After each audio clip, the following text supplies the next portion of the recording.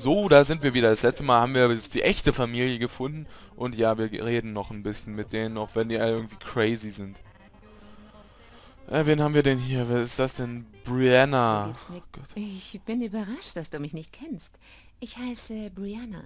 Ich äh, kümmere mich hier um die Männer. Jedenfalls um die Junggesellen. Ähm... Siehst auch so ein bisschen aus wie Nova, ne? Oder hieß die Nova? In, in, in Moriarty Saloon, ne? Wo wir uns schon mal den Stich versaut haben. Verdammt. So, ähm, ich suche nach Ian West. Vance hat ihn ins Meditationszimmer bringen lassen. Da darf niemand rein. Der arme Junge. Er sieht so aus, als könnte er noch einen Freund brauchen. Hm. Ladykiller. Oh. Wenn ich weiß, wo ihr steckt, können wir vielleicht mal unter vier Augen reden. Ne? das ist aber wirklich sehr verlockend. Wenn du so gut bist, muss ich dich bezahlen, statt umgekehrt. ich sag dir was, mein Süßer. Ich gebe dir das Kennwort zu Ians Zimmer. Vielleicht kannst du mit ihm reden, damit es ihm wieder besser geht. Wuhu. Okay, wir haben das Kennwort schon, aber... Wisst schon. ich weiß nichts mehr. Wie ich schon gesagt habe, hat Vance ihn ins Meditationszimmer bringen lassen. Da darf niemand rein. Okay. Was ist das für ein Ort? Das ist der letzte Ort, von dem ich gedacht hätte, dass ich da einmal landen würde. Ich meine, sieh dir diesen Ort doch nur einmal an. So finster und dreckig. Hier müsste einmal eine Frau richtig aufräumen. Aber sagt Vance ja nicht, dass ich das gesagt habe. Äh, Vance! Die Brianna ist... Findet deine Metrostation dreckig. Die ist auch dreckig, ja. Das ist schlicht und einfach die tollste Bande auf dieser Seite der USA. Solange wir auf die Regeln und Lehren von Vance hören, lässt er uns so ziemlich alles tun, was wir wollen. Okay. Na komm, Gehen wir in dein Zimmer jetzt? Äh, ja, nee. Und? Wird nicht passieren, heute? leider. Mir geht's ganz gut. Also, ich Holly. glaube, wir wurden uns noch nicht richtig vorgestellt. Ich heiße Holly und bin die Frau von Vance. Ah, ich dachte, du bist noch eine Hure. Schade. Äh, leider schon vergeben. Ich suche nach Ian West, haben Sie ihn gesehen? Ich fürchte, Vance hat ihn isolieren lassen und ich habe keine Möglichkeit, die Befehle von Vance zu umgehen. Er ist ein guter Junge. Ich glaube, Vance wird ihn bald auf den rechten Weg führen. So wie er es mit jedem von uns getan hat. Okay. Äh, ja, vielleicht. Vielleicht bringt er sie ihn aber auch nur noch mehr durcheinander. Tut mir leid, aber ich denke, er braucht jetzt seine eigene Familie. Ja. Meinen Sie nicht, dass er schon so völlig durch den Wind ist? Machen Sie sich doch nichts vor. Wir haben ihn gerade noch rechtzeitig aus diesem Kaff herausgeholt. Was? Ihr habt doch seine Eltern umgebracht. Toll.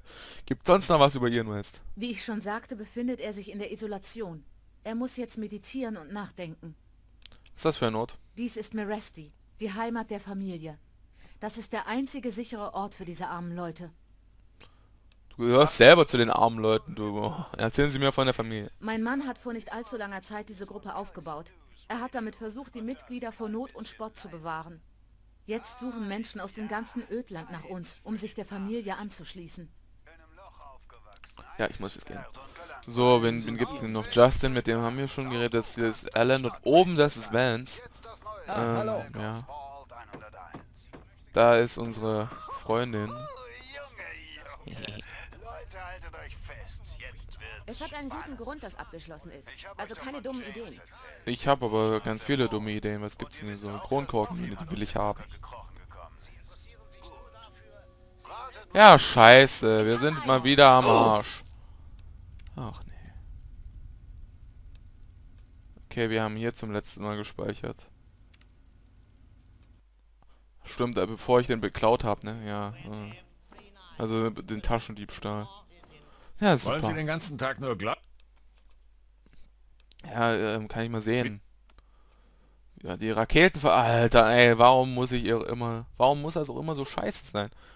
es springt manchmal ganz schnell von erkannt auf ähm, versteckt und dann, wenn man dann in der falschen Sekunde drückt, dann war es das für einen. So, wir haben die ganzen Stimpacks genommen. Und auch noch hier so ein paar bisschen Munition, ne?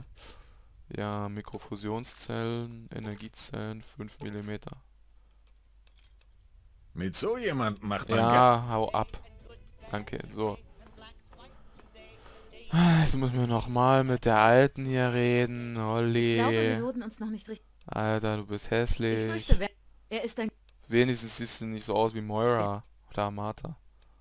Was ist das für ein Ort? Familie. Jetzt. Danke. Ah, hallo. Hallo. Tschüss. Hey, wenn Sie daran ja, rumbasteln, haben wir ein Problem. Ich habe keinen Bock nochmal von denen entdeckt zu werden. Ich bin überrascht, dass du... Ja, okay, mit der Lady Killer. Ich was ist sonst noch was? Was ist das für ein Ort? Familie.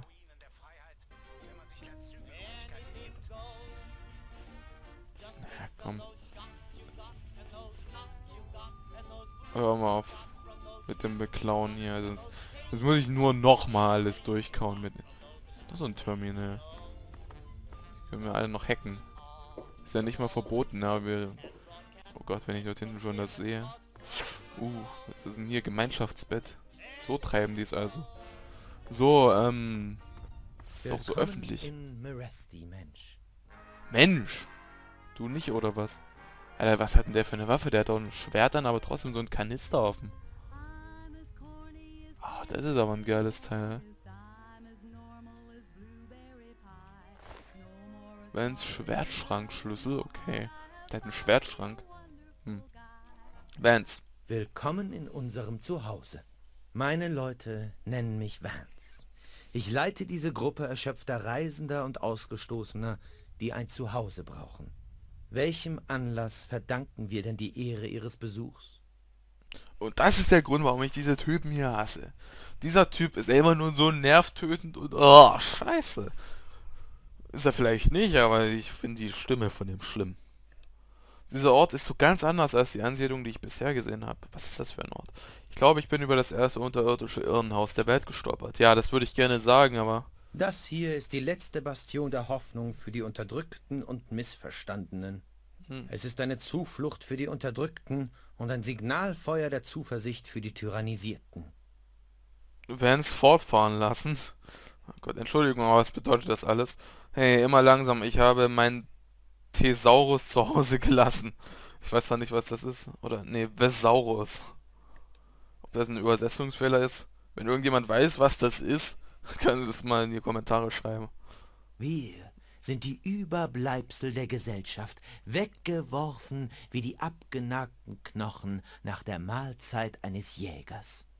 Ich habe meine Herde unter den ausgetrockneten Sand des Ödlands geführt um sie in Sicherheit zu bringen und ihr meine Lehren zu vermitteln.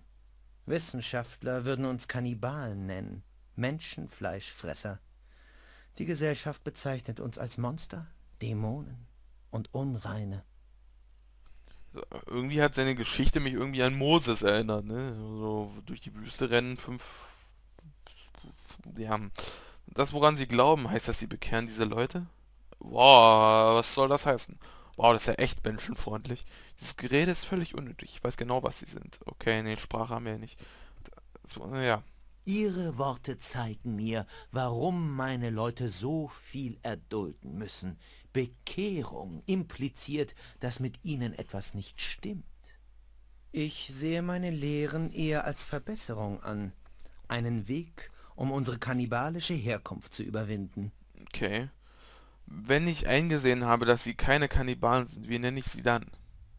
Ein Kannibale ist und bleibt ein Kannibale, auch wenn er sich anders nennt. Ihre Leute essen Menschenfleisch, Vance. Das ist krank. Genug geredet. Ich bin hier, um ihre Suppe auszurotten.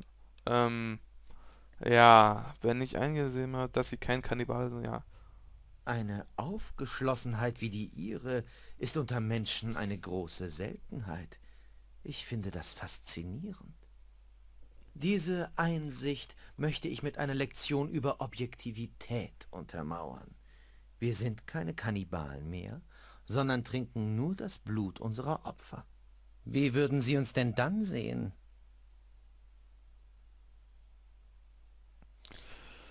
Ach nee, ja deswegen, so Pseudo-Vampire, also deswegen fahren die Vampire immer mehr gegen Baum. Man hat den Typen, nennt man Edward, den ich ja nicht leiden kann, wie man weiß. So ein hässlicher Sack. Äh, ich habe keine Ahnung, ich habe keine Zeit für Spielchen-Vans oder für mich seid ihr ein Haufen. Ja, keine Ahnung. Dann ist dies wohl ein Rätsel, das Sie selbst lösen müssen. Und kann ich einfach mit In der Zeremonie müssen alle Familienmitglieder ein Gesetz zitieren. Es ist dann Ihre Aufgabe, sich an die Gesetze zu halten und sie durchzusetzen. Vielleicht verstehen Sie mit diesen Gesetzen, wer wir sind. Kommen Sie zurück, wenn Sie bereit sind. Ja, jetzt haben wir das Terminal-Kennwort bekommen, dass wir es nicht mehr hacken müssen und können wir ähnlich wie die Ideologie des Atoms alles nachlesen. Super, nicht? Boah, ein schwer verschlossener Schrank. Muss ja was Dolles drin sein. Ich glaube, der Winkel ist hier. Fast. Ein Lasergewehr und ein Stealth-Ball. Cool. So, was haben wir hier noch? So bei diesen schönen Stockbetten hier.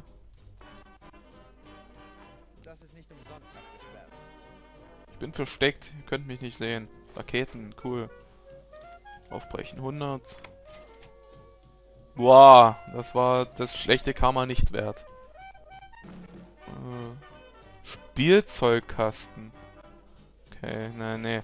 Lassen wir die mal in... Ach so, nee, wir müssen Ideologie machen, ne? Bevor wir zu ihren gehen. Gehen wir einfach ins Terminal und dann Hallo. kriegen wir das schon gebacken hier. Äh, dieses System darf nur mit Erlaubnis von Vans benutzt werden. So, die fünf Gesetze der Familie. Das erste Gesetz... Oh Gott. Das erste Gesetz ergötzt euch nicht am Fleisch, ergötzt euch nur am Blut. Das ist unsere Stärke. Wir verzehren das Fleisch jener, die wir töten, nicht. Wir trinken nur ihr Blut und lassen ihre Körper unversehrt. Der Verzehr von Fleisch ist schmutzig und unrein. Es ist diese Tat, aufgrund der die Menschen uns wie Tiere behandeln. Wir sind keine Tiere, wir sind die Familie. Was ein abgedrehter Haufen, ne? Nur Freaks im Ödland. Das zweite Gesetz, empfangt nicht das Kind, empfangt nur den Verbannten, das ist unser Schicksal.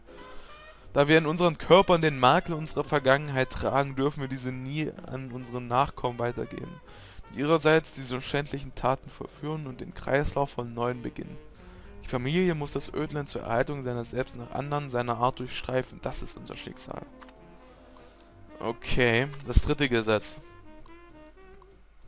Das dritte Gesetz, beköstigt euch nicht zum Vergnügen, beköstigt euch nur zur Erhaltung. Das ist unsere Würde. Wir töten Menschen nur dann, wenn wir hungrig sind oder uns verteidigen müssen. Wir jagen nicht zum Vergnügen. Wir schlägen ke keinen Kindern nach, denn sie wurden von den Ansichten der Gesellschaft über uns noch nicht verdorben. Die Familie toleriert das Morden nicht. Und warum haben die dann die Familie von ihren umgenietet? Wenn die so viel Hunger hätten doch erstmal die anderen umnieten können. Eben King zum Beispiel. Das vierte Gesetz. Das vierte Gesetz sucht nicht das Licht der Sonne, begrüßt nur das Schattenreich, das ist unser Schutz. Da wir Wesen der Nacht sind, dürfen wir am Tag keinen Fuß, äh, ja, am Tage keinen Fuß setzen. Wir bewegen uns lautlos über das Land und den wachsamen Auge des Mondes. Bei Sonnenaufgang kehren wir in den Schutz der Schatten zurück, niemals mehr Licht erhaschend. Die Finsternis der Schutz der Familie. Das sind ja wirklich Pseudo-Vampire. Das fünfte Gesetz, tötet nicht einander selbst. Tötet nur die Feinde, das ist unsere Gerechtigkeit. Von allen Dingen darf kein Mitglied der Familie das Leben eines anderen Mitglieds ohne Bewilligung des derzeitigen Führers nehmen. Jene, die dieses Gesetz missachten und diese Freveltat verüben, werden für immer aus der Familie verbannt. Wir dürfen nicht zulassen, dass unsere eigenen inneren Dämonen uns dazu verleiten, einander zu bekämpfen. Wir sind nicht nur wenige und äh, nee, wir sind nur wenige und dürfen unseren Untergang nicht riskieren. Gott. Jagdgründe. Nahrungs Gründe. Die sind äh, gefahrvolle Zeiten für die Familie. Wir müssen uns ernähren, aber das Ödland ist ein bedrohlicher Ort. Der einzige Weg, ohne gewaltige Verluste zu, Verluste zu speisen, ist es, sich in den kleineren menschlichen Siedlungen zu nähern. Wir werden unsere Ziele daher mit Schleuer und Auf Unauffälligkeit erreichen. Niemand äh, ist es gestattet, sich gewaltsam Zugang zu den Häusern zu verschaffen. Unser Handeln muss stets zivilisiert bleiben. Nur so sind wir nicht die Tiere, die sie in uns zu sehen glauben. Zum Earth-Vorfall, ja, jetzt will ich mal sagen, dass sie hier alle die komischen Gesetze missachtet haben, ne? Ein Vorfall wie dieser darf nie wieder vorkommen, wusste ich's doch. Ich habe klar zu verstehen gegeben, dass wir in keiner Weise feindlich zu agieren haben. Die Tötung der Brahmin der Stadt war eine Tat, die nicht nur unnötig, sondern möglicherweise auch schädlich für uns war. Ich habe es in der Stadt mit einer sehr delikaten Situation zu tun und lasse meine Bemühungen nicht durch Racheakte gegen die Menschheit untergraben. Unsere Zeit wird kommen, das verspreche ich euch, Vance. Das ist ein Haufen von Klemmspastis hier. Äh, ah, super. Ja, ich bin schon wieder am Ende der Folge. Ja, danke, ja, schreib mich noch mehr an. Äh, dass Camtasia bei dir gerade nicht geht, interessiert mich einen Dreck. So, ähm, ja, bis zum nächsten Mal, wenn wir wieder mit Vance sprechen. Hm, über mehr Sachen. Ich kann mich nicht entscheiden, ob die Typen bekloppter sind oder die Atomtypen oder doch eher die, die Republik Dave, die wir noch finden werden. Ah. Ja, bis zum nächsten Mal.